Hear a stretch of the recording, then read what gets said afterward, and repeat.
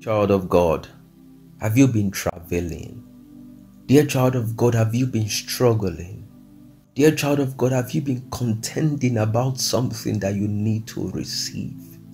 I want you to know that that time has come for you to bring forth.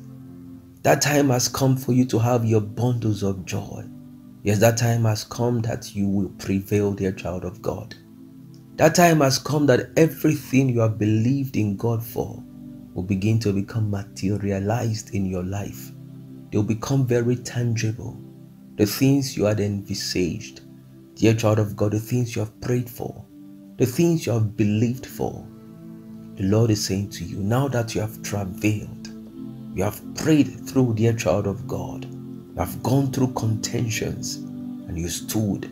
He says, now you have won the victory and you bring forth God's word in Isaiah 66, verse 8 says, Who had had such a thing? It says, Who had seen such things? Shall the earth be made to bring forth in one day? He says, Or shall a nation be born at once? He says, For as soon as Zion travailed, my God. He says, For as soon as Zion travailed, she brought forth her children. Dear child of God, it says you have travailed. And it is that time for you to bring forth. It is that time for you to have your bundles of joy and testimony. It is that time that you look around you and see everything, everything you have believed in God for, everything that seemed to have been a prayer point at some point in time. It is that time that you have them within your space. Days a nation cannot be brought forth in one day. Dear child of God, sometimes you may have waited. You waited thinking everything was going to happen in one day, but it didn't happen. And that was because it was a process God was taking you through. But I have this good news for you today. You will bring forth. You bring forth your blessing. You would have your bundles of joy in the mighty name of Jesus. He said, Who had seen it? Who had seen such a thing? He says, Can a nation be born at once? No, dear child of God, it cannot be because there is a process to everything. You have gone through the process. And the Lord is saying to you, that time has come that everything, everything you have believed in Him for, that time has come for you to testify of them all. You have paid the price, dear child of God. You have paid your dues. You see, indeed, you have gone through trials. And what the trials of your faith did was to produce patience, was to produce endurance, and God wants you to know that you have passed. Dear child of God, you have been examined, you were weighed, and indeed you have come out strong. Dear child of God, you have come out strong, and God wants you to know that you deserve all the blessings that will come your way. You have labored, you waited, you believed in the word of God. And now that time has come that nothing will stop you from testifying. You are blessed, dear child of God. And at this point in time of your life, no one will be able to curse you. You have paid the price, and heaven knows that you have paid the price. Dear child of God, you have indeed waited. You waited for years, asking for the Lord to show up, asking for the Lord to show forth with His blessing. And He's saying to you, You have travailed. And that time for you to bring forth has come. And from this day on, dear child of God, you will discover you will not struggle to get anything working in your life. You'll be there. And the Lord who said He would do it when the time is right will do it. Because you have indeed gone through the process. You have waited, you have served Him, you have been diligent. And He said He is not unrighteous to forget your labors of love. Dear child of God, the Lord wants you to know that you are not forgotten. The Lord wants you to know that you are not forsaken. Yes, you have had to wait, you waited you were still to know indeed that He is God, and then you have discovered that He is God. You have given Him your best of service. Yes, it was not easy for you to have waited, but you waited. You waited. You trusted Him despite everything. You had reasons to cut corners, dear child of God, but you knew it was a process. You see, God took Joseph through a process. After God showed him all the things that was going to manifest, it was not happening at the same time.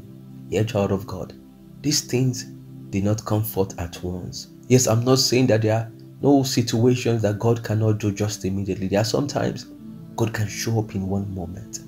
But you see, in some blessings, God needs to take you through a process. And he said, as soon as Zion travailed, he says she brought forth. So, which means at the time that Zion was not travailing, Zion was not bringing forth. Dear child of God, you deserve everything that heaven is sending out to you. And God wants you to know that you will get your blessings. You will get that blessing that you need today, and your joy shall be full in the mighty name of Jesus. You see, Habakkuk 2 verse 3 says, For the vision is yet for an appointed time. It says, But at the end it shall speak. That time has come for it to speak. That time has come for it to speak. That time has come for all your labors to speak. Dear child of God, that time has come for your diligence to speak. That time has come for the faith you have had in God to speak. That time has come for all the things you have believed in God for to start manifesting. It says the vision was for an appointed time, and dear child of God, you have met that appointment. Yes, you went through the process. Dear child of God, you waited, and it is true that you have waited. You can relate within yourself that yes, I've paid the price, I've paid my dues, and I deserve to be blessed. And I pray that heaven will open up to you, dear child of God. And the things that will begin to manifest from this day, it will be a shocker to you. Even those who were mocking, you see, they began to ask you at some point in time. They had asked David, they said to him, When would your God come? Where is your God? When would it show up for you, dear child of God? You were asked that same question because you were waiting you were going through the process, you were traveling, and you knew that you needed to bring forth. At that time, they were asking you, Where is your God? When would He show up? You have served Him, you have been diligent, you have been committed, but it seems like you have been forsaken. It seems like He doesn't pay attention to you. Why don't you cut corners? They give you all these options, but you refused. Yes, you knew the things to do to get yourself out of that quagmire, out of that mess. But you stood waiting for God to show up. And God is saying to you, Well done. Well done, my child. You have paid the price. And I want you to know that what you have done, what you have done, heaven would definitely honor. Yes, you cried. You were in pains. You were sorrowing. The cross was too heavy for you to carry. But you bore your cross, dear child of God. You went through the process. You told God I would wait till my change comes. You were in the pain, but you said I would wait till my transformation come. You were going through a lot, but you said I would wait on you because I know you will come. You see, Job said, After I have been tried, he says, I will come forth as gold. Job began to bring forth. The blessings began to manifest. Those who mocked him, they began to shut up their mouth because they have seen a transformation. They saw something greater and better than what he used to be. Dear child of God, those who may have mocked, those who may have laughed, those who may have asked you, Where is your God? They would all be short because the blessings that will be coming, dear child of God, it will silence them. The things that would visit you, dear child of God, it will silence each and every one of them. And they would indeed say, Now we know that your God is alive. And now we know that your God keeps to his appointment. He says, For the vision is yet for an appointed time, but at the end it shall speak. He says, I will not lie. Though it tarries, says, Wait, wait for it, because it will surely come. He is telling you today, Give it up, my child. Give it up to me. Let me handle it for you. Give it up to me. Let me do with it all the things that you cannot do with it. He's saying to you, give it up today so I can fix every of those things that needs to be fixed. It is true that you have done your very best. It is true that you have come to the end of the tunnel for you. It is true that you have come to your finish line. It is true that you have come to the point that your strength can carry you. Why don't you allow the one who is the everlasting God, who has the everlasting strength, who is almighty, who is all powerful, who is all knowing. Why don't you allow Him take it up from now? Why don't you allow Him deal with that situation for you and bring to you that victory? You know what is particular to you that you have done so much by yourself. It's telling you, give it up to me. You have tried to speak to those ladies and you've done your very best. You have been as best as you can. You have shown them much care, but it hasn't worked the way you wanted it to work. He says, Give it up to me. You have done the very best to be attentive, to give your heart to that brother, but still it seems as if you are stopped. You have done it yourself, but still it's tossing you here and there. Dear child of God, the Lord is telling you, give it up. It is time for me to take over. I can handle the situation for you perfectly. I can do it more than you can ever imagine. I can do it more than you can think of. Just give it up to me. Give up every of those things. Because as soon as you lift up your hands and say, Father, I surrender it all. The Lord takes it up from there.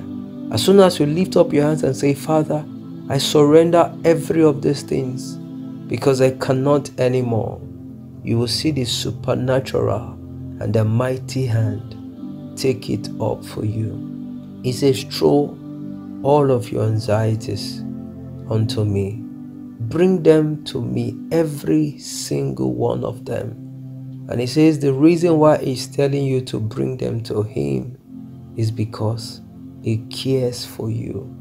Is because he is very concerned about you. So have you come to that finish line? Have you come to that point where you have become very weary? Have you come to that point that you know your strength has really, really been exhausted?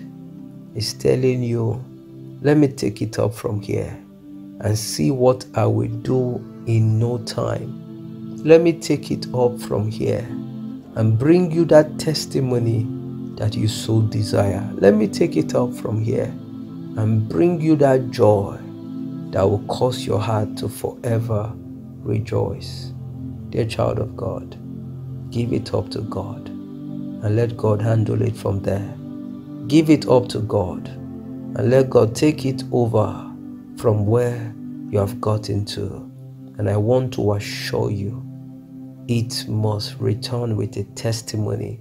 I want to assure you that situation will surely turn around for the best. In the mighty name of Jesus. I pray God will help you. God will cause you to be sober. God will give you the grace to be watchful because God has assigned you he has placed you in your family to be that one that will be called the watchman. He had called you to be there to man the gate. He has called you to stand your ground and see to it that nothing the enemies are succeeding. He said he looked for a man, he sought for a man, and then he found none. He found none because many had gone to sleep. He found none because many have stopped being watchful. He found none because many have stopped praying. Oh Lord, please have mercy upon us and deliver us from the spirit of prayerlessness. Lord, have mercy upon us and deliver us from the spirit of lack of watchfulness. In the mighty name of Jesus. Whatever the enemies have done to make you lose your strength, today I pray there will be a restoration of strength in the mighty name of Jesus, God will give you the special strength and the special grace, and you will snatch from the claws of the enemies all those that are already in captivity, all those that are about to be devoured. In the mighty name of Jesus, special strength and grace is coming upon your life to be awake, to be sober, to have your heart ready and panting every day unto God to see that His will prevails over your life and over your family. Oh Lord, please deliver us from the spirit of prayerlessness. in the mighty name of Jesus. Deliver as many, oh God, listening right now, as many watching this video right now that has gone to the place of sleep, that have lost their strength because of some situations, because of some challenges, because of some problems facing them. Oh Lord, Please deliver them today. Lord, deliver as many who are saying to you today, restore my strength and deliver my family. Please restore my household and deliver us. The Lord will restore your strength and the Lord will deliver every member of your family in the mighty name of Jesus Christ. There is something God is working out, and I want to assure you, dear child of God, there will be a change. There will be a change in your life, and you will see strength welling up. You will see strength rising up. You will see strength restored unto you again in the mighty name of Jesus Christ.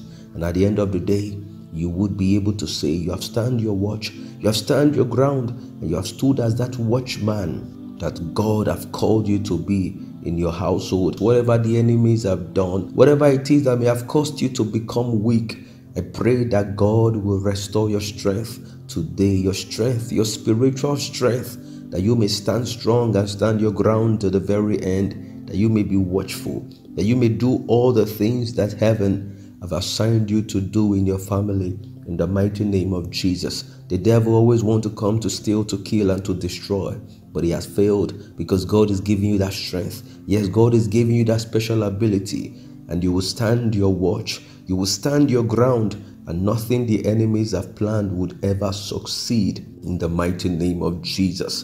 God is giving you the victories, dear child of God, because you are more than a conqueror. You are more than an overcomer through Jesus Christ, and there will be no casualty in your home in the mighty name of Jesus.